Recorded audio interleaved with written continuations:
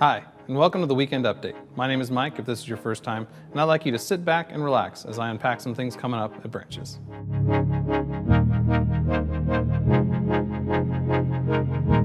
This Saturday at 10 a.m., there is a unique opportunity for folks all across Columbia County to gather together in prayer.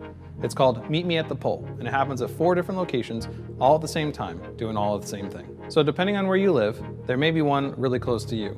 It takes place at the Rainier Police Department, the Vernonia Police Department, the St. Helens Sheriff's Department, and the Scappoose Police Department. All are welcome, and we have addresses and details available at our website at branches.tv. In a few weeks, we'll be launching our annual Be Rich campaign. Now, for those of you who remember, you're probably really excited, but if you don't know what I'm talking about, I've got some details for you. Be Rich is an annual event that takes place over the course of three weeks and it's a bunch of churches across the country and around the globe who come together to serve the local communities that those churches find themselves in.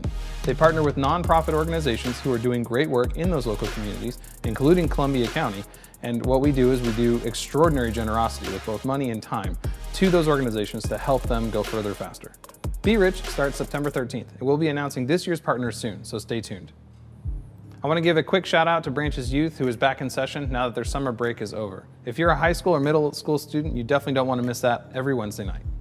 Last week, we started our limited in-person gatherings again. Now, it's been five months since we were together, and in order to stay within state guidelines, we introduced pre-registration.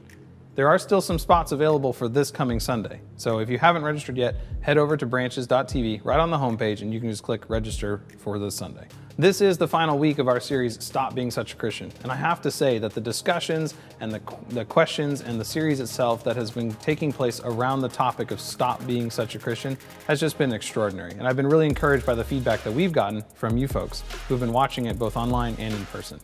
If you've missed any of the last eight weeks of discussion around Stop Being Such a Christian, you can check out the past messages online at branches.tv slash messages, or you can do so on our app. Well, branches, that's it for my update this week. I look forward to seeing you guys online or in person on Sunday at 10:30 a.m. God bless.